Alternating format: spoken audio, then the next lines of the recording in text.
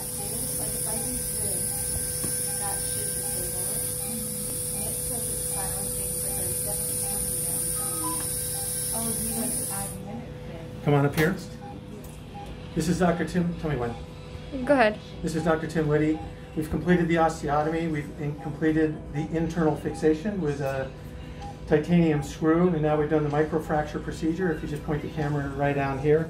So we've drilled multiple holes into the head of the metatarsal. I've denuded and removed all the loose cartilage surface. We can see we have some good cartilage here and actually no cartilage in several locations. This joint is very much along, farther along in the arthritic process.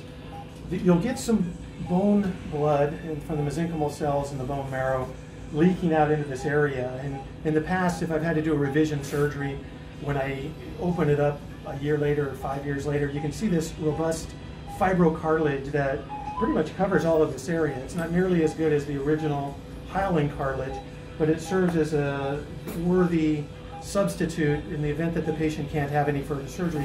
At least he'll have a slippery surface.